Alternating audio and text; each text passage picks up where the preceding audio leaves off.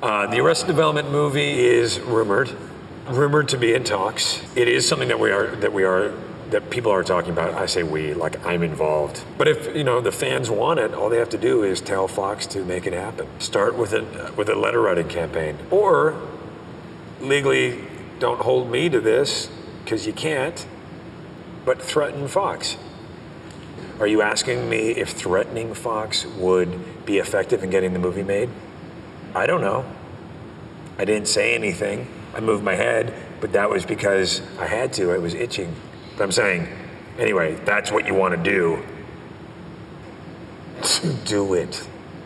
Okay, now that I can be held to.